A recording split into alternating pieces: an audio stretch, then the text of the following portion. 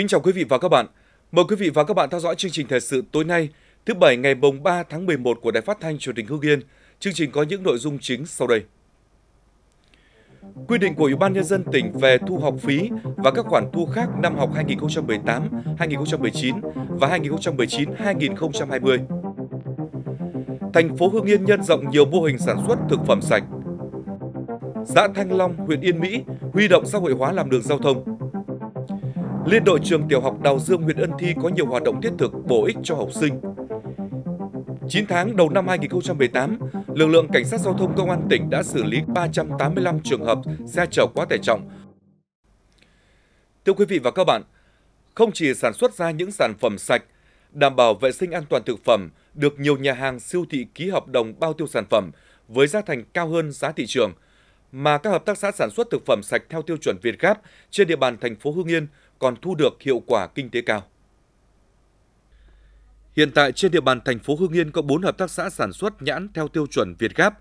Vụ nhãn 2018 vừa qua xuất bán tổng số 150 tấn nhãn sạch với giá cao hơn giá thị trường từ 5 đến 10.000 đồng một kg.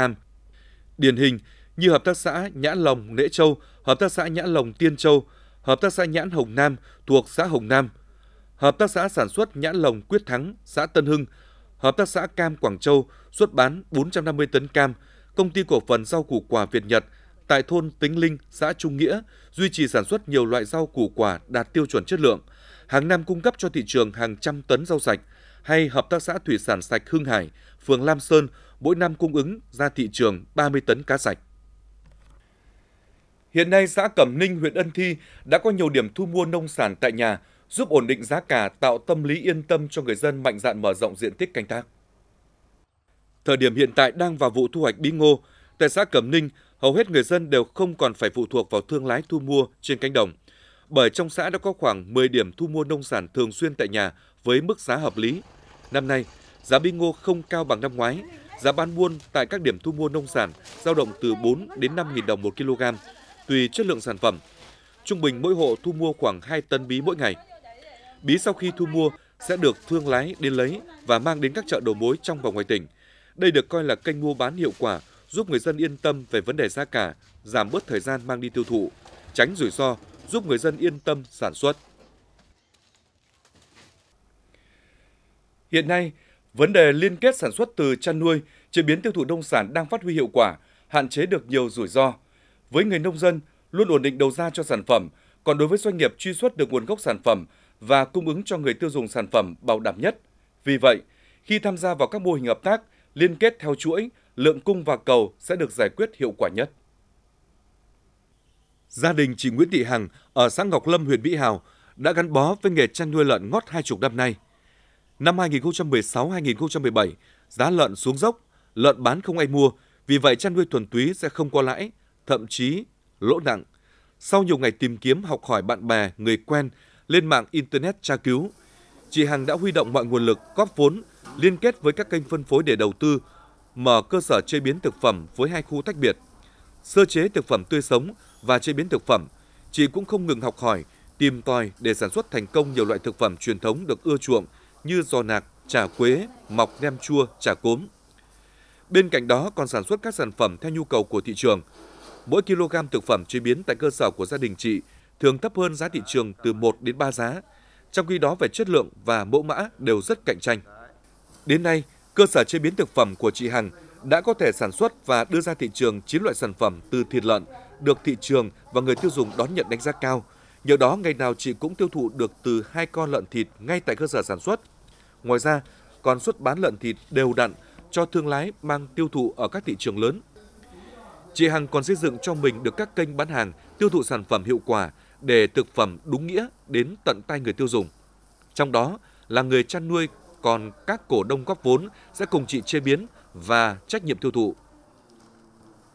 Cái phương châm làm của chị Hằng luôn luôn là sạch sẽ an toàn, nên là tôi rất là tin tưởng và tôi đã ờ, góp cổ phần với chị ờ, một chút thôi ạ và cùng làm với chị và bây giờ tôi phụ trách phân phối chính của tỉnh Hải Dương và một số tỉnh miền Bắc. Trong quá trình mà phân phối và tiêu thụ thì em thấy khách hàng và phản hồi rất tốt về sản phẩm. Họ đều khen là sản phẩm rất là sạch sẽ và rất là thơm ngon, hương giữ được hương vị truyền thống ạ. Do vậy, sản phẩm tiêu thụ thuận lợi, bảo đảm chất lượng, được người tiêu dùng tin tưởng. bình quân mỗi năm cả chăn nuôi và chế biến, gia đình chị có lãi trên 200 triệu đồng.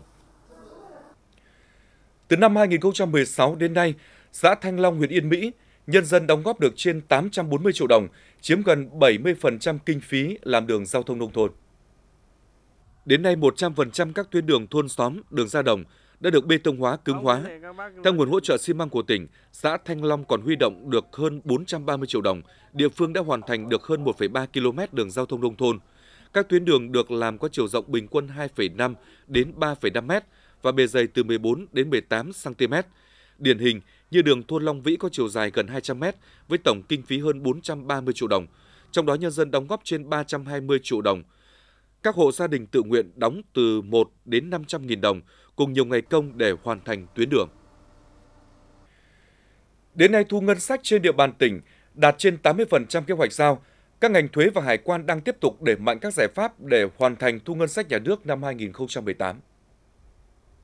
Thu ngân sách tháng 10 ước đạt trên 1.400 tỷ đồng, trong đó thu nội địa đạt 1.133 tỷ đồng, thuế xuất nhập khẩu 312 tỷ đồng, giảm 11,21%. Như vậy đến tháng 10 năm nay, thu ngân sách nhà nước ước đạt 9.779 tỷ đồng, tăng 9% so với cùng kỳ năm 2017. Trong đó thu nội địa 7.150 tỷ đồng, tăng 14,10%, đạt trên 83% dự toán Hội đồng Nhân dân tỉnh giao. Thu thuế xuất nhập khẩu 2.629 tỷ đồng. Một số khoản thu nội địa như thu từ khu vực có vốn đầu tư nước ngoài 1.480 tỷ đồng, thu từ khu vực ngoài quốc doanh 2.290 tỷ đồng, giảm 10% các khoản thu về nhà đất 1.828 tỷ đồng. Để hoàn thành dự toán thu ngân sách nhà nước được sao từ nay đến cuối năm, ngành thuế và hải quan tiếp tục để mạnh nuôi dưỡng và khai thác các nguồn thu, tích cực cải cách thủ tục hành chính, hỗ trợ người nộp thuế, thu hồi nợ động thuế.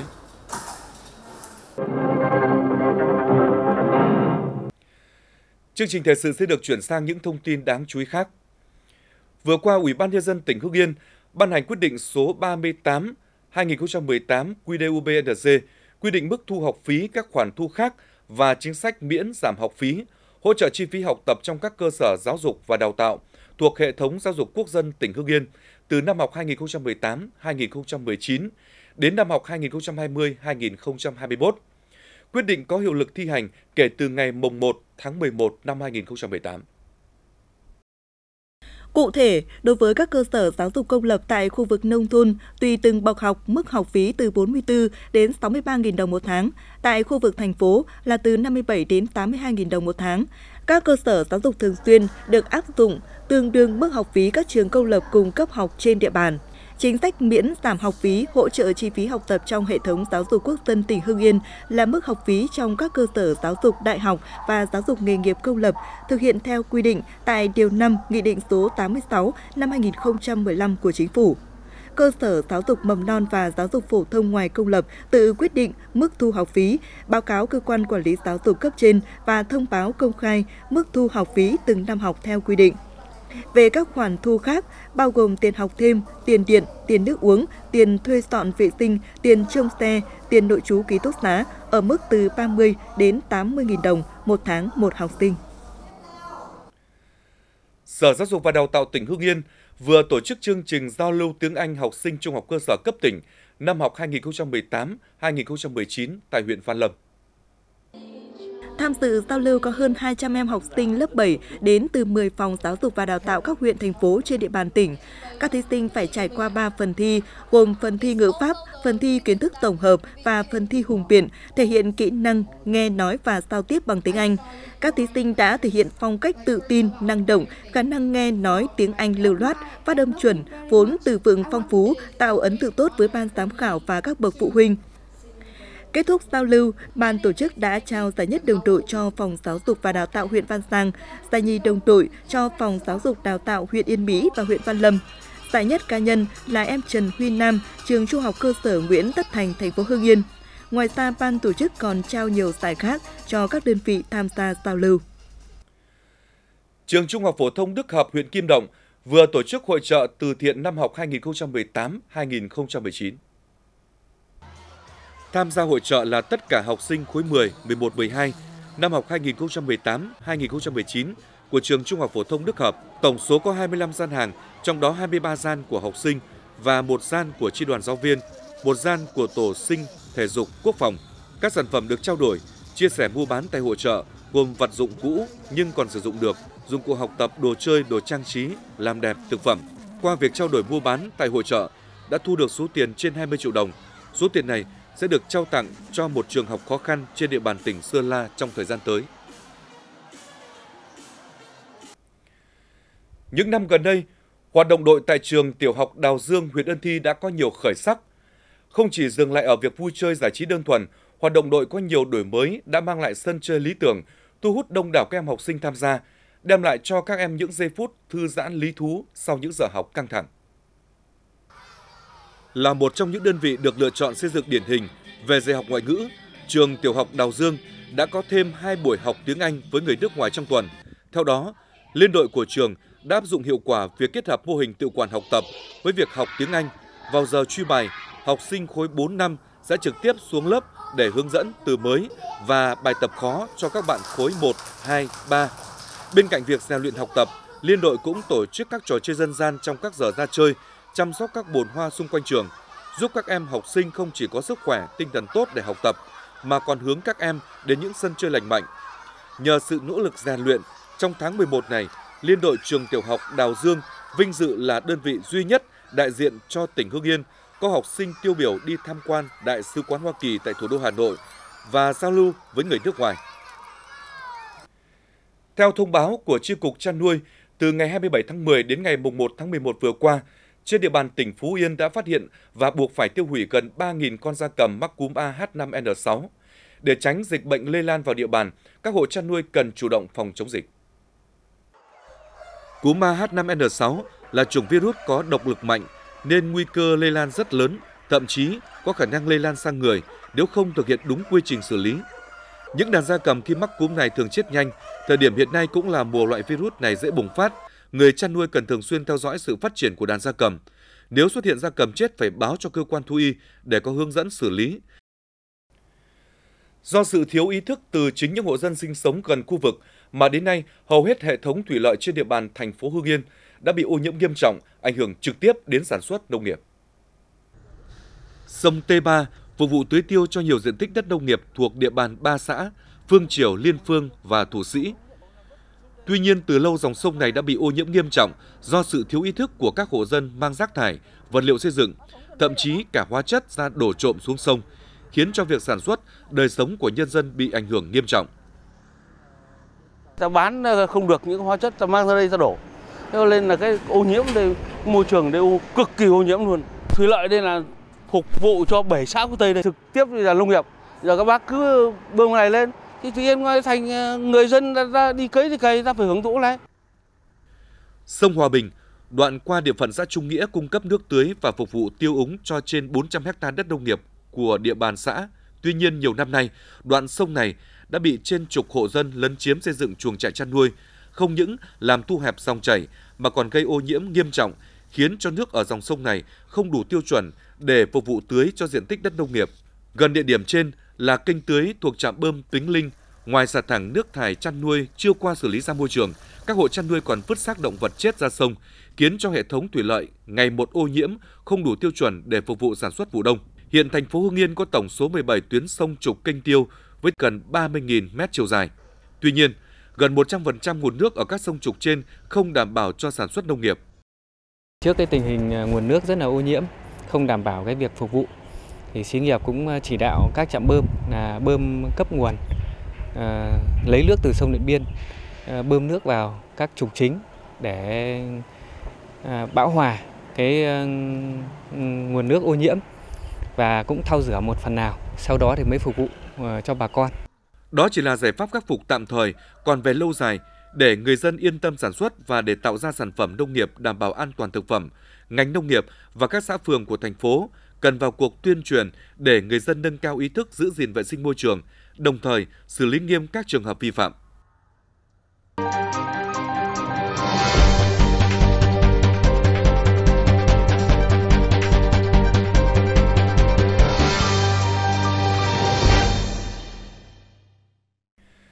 Từ đầu năm đến nay, trên địa bàn tỉnh đã xảy ra 132 vụ tai nạn giao thông, làm chết 97 người, làm bị thương 101 người.